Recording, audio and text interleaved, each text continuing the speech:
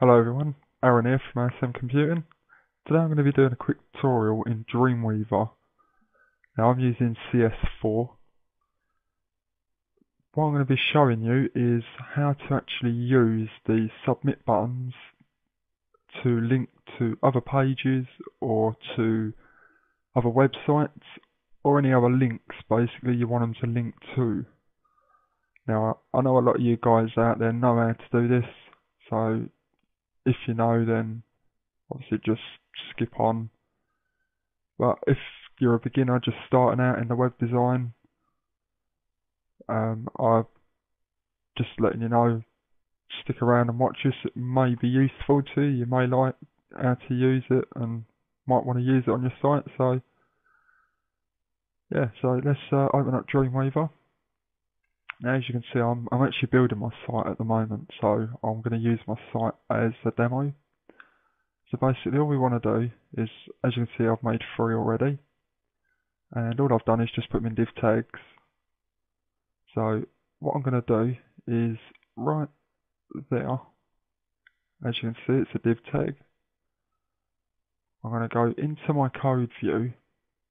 And as you can see, what's highlighted in blue is the the actual div tag I've just clicked on. So you can see it says opening div and closing div.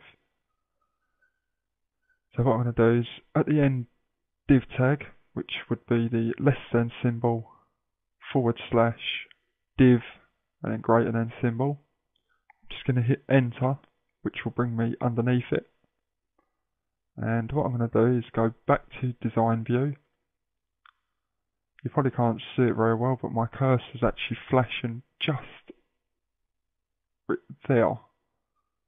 Basically, it's just on the end of that div tag where it closes. So when I make the new button, it will just fall underneath this one. So all we want to do is just click on Insert at the top. Oh, uh, go to Form, come down and click on Button.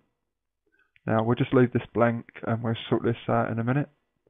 I just click OK. And it says, do you want to add a form tag? Just say no. We don't need a form tag because we're not actually going to be posting anything through to MySQL or any other functionality, so we don't need that. And as you can see, my button's there. And we need to just add a div tag and the link to it. And obviously we just want to change what it says rather than submit. So the easiest way is just click out off of the button once it's actually been put onto the page. Then select it again and then you'll see here button 5 as the button name. So you can leave that at default of whatever it comes up as. The only one we want to change is the value. This is what's shown to the user or to the the actual person on your website whether it be your client or any other any other person basically just looking on your site. So I'm just going to call this one YouTube just for tutorial purposes. So when I click here you'll see it'll change. I'm going to select that again. And I'm going to go into my code view. And as you can see I've got my code there which is my button, the input type, submit, name, ID and value. The only ones things that I don't need are these label tags. Let's get rid of them. There we have that.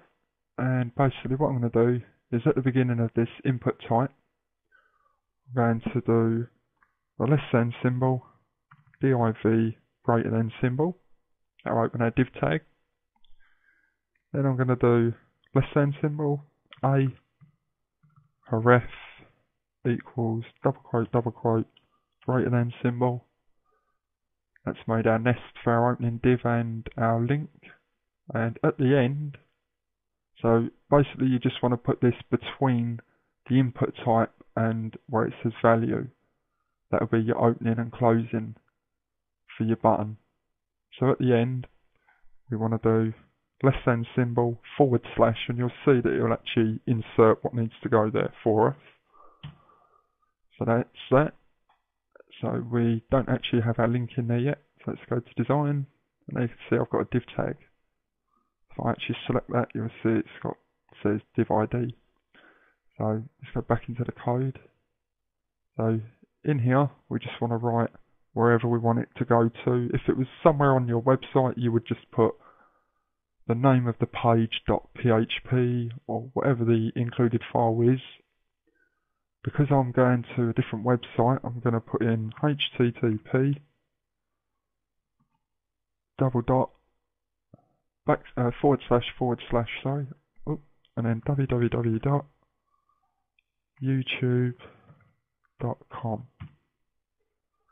Now that'll send us to YouTube by clicking on that button. Save. Open up FileZilla.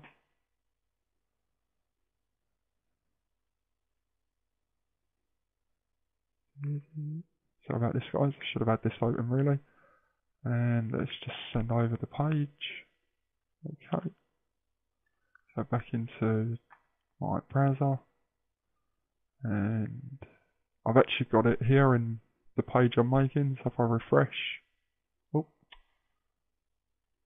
sorry about that guys, hold on, two seconds. Let's go back into that. As you can see I've got a YouTube button and in Chrome when you select over the button you actually see down here at the bottom left comes up a little blue tag and it tells you where it actually goes. So that's profile, delete account, so on, so on. So that should say YouTube. Yep. So if I select that, obviously it goes to YouTube. Now the only thing with this is obviously if you didn't want it to go and refresh over your website, all you need to do is go back. So we're back on our website. Just quickly go back in, and after you put in where you want it to go to, the site name, put space, and then put target equals double quote, double quote, uh, sorry, yeah, sorry, double quote, double quote, um, yeah, sorry, and then uh, underscore blank. Sorry about that, I was miles away.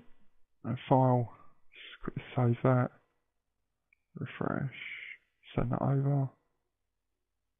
Okay. If I go back to the site and refresh, if I click that, you'll see now that I've still got my page open and I've got it in a new page. So I hope that helps you out guys and uh, I'll get some more tutorials up soon. Okay, see you later guys.